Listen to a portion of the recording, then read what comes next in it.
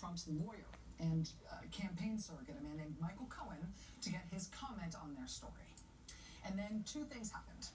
The first is that Michael Cohen launched one of the longest, most involved, most movie scene, unbelievable cascade of lurid threats at the Daily Beast reporter that I have ever heard in any context.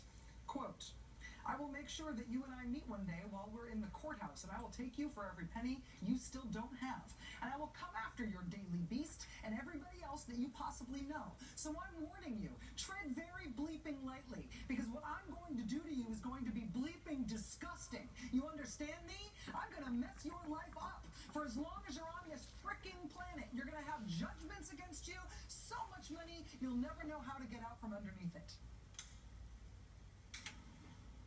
What I'm going to do to you will not only destroy you, it will disgust you in the way that I do it. Wow, that was cut from The Sopranos for being over the top. And now, please elect Mr. Trump to be President of the United States.